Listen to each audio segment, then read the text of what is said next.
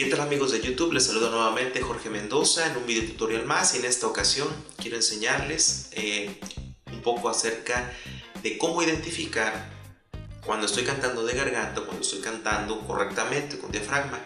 Es una pregunta que me han hecho mucho eh, ustedes, me, este, me, han estado preguntando mucho en mensajes, en Facebook, eh, me han estado comentando mucho acerca de eso y por eso estoy haciendo este video. Eh, lo que quiero comentarte es que lo primero que nada debes de mm, jerarquizar.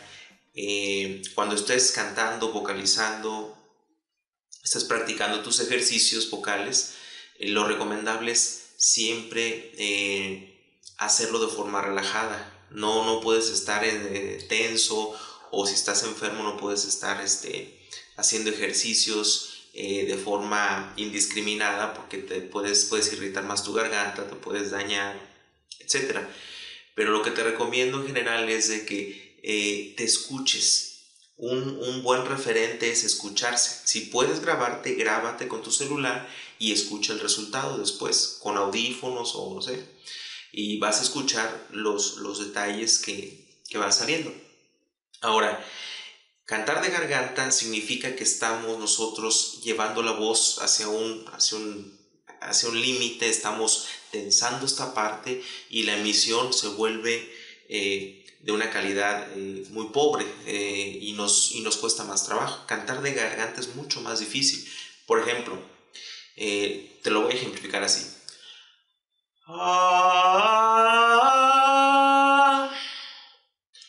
Cuando eh, el sonido empieza a cerrarse, a cerrarse, a cerrarse, sentimos literalmente que nuestra garganta se cierra.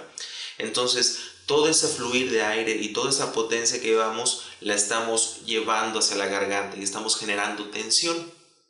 Ahora, ¿cómo saber si estoy eh, cantando bien? Simple. Vas a tratar de las notas que estés haciendo, las vas a emitir y vas a hacerlas con la misma claridad y, cuando se trata de notas agudas, trata de pujarlas. Es decir, como cuando haces un esfuerzo cuando cargas algo pesado. Ah, ah, ah. En lugar de llevarlas a la garganta, tienes que pujar esas notas para lograr hacerlas. Por ejemplo,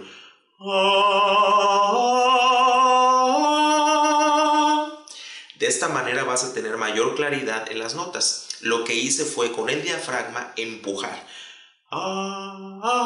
Ah, pujar la nota, ah, pujarla, en lugar de hacer, ah, ¿sí? Sé que esto es un poquito chistoso, pero es algo común, porque lo que nos pasa inmediatamente es que hacemos la garganta, por eso sientes que se cierra aquí.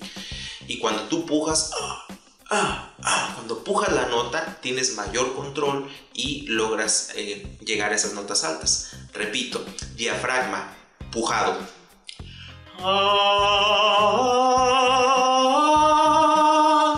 garganta.